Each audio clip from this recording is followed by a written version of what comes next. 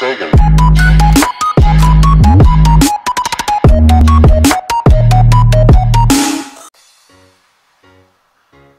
So today we're going to be working with VideoPad Editor. We're going to add an overlay arrow to our video. And to get started, open VideoPad Editor. You're going to want to start a new project. Once that's loaded, go ahead and add a file. And for file, we'll go ahead and just add one of my YouTube videos. And then we're going to want to add our file that we want to overlay on top of it.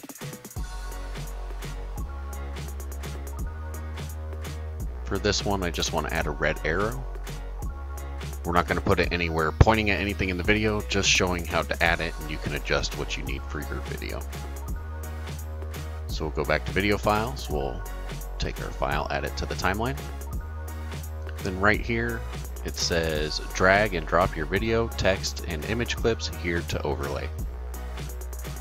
That's exactly what we're going to do. We're going to take our arrow we want to add, drop it in.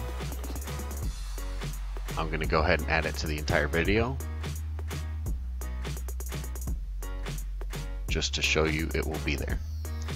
Alright, if we go ahead and look here, we can see the arrow is on top of our video. And which is no good.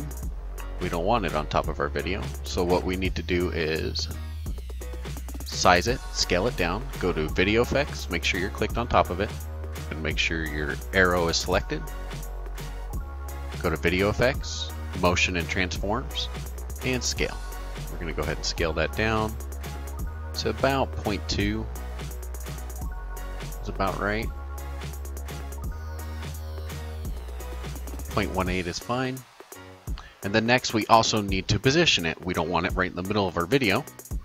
So there's two ways to get there. Either press the plus sign here and then click on position or the roundabout way.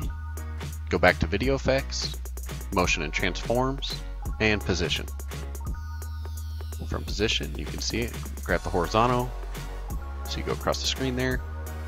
And vertically, we want it to go down, so it's an addition to. You can see right there, that's about where we wanted our screen. Let's back it up a little bit, just for the heck of it. Go ahead and exit this. Go back and hit play on the video. Make sure the whole project is selected. I usually just click in a blank space here. But as you can see, we have our arrow in our video. Everything worked out. And that'll stay there the entire video.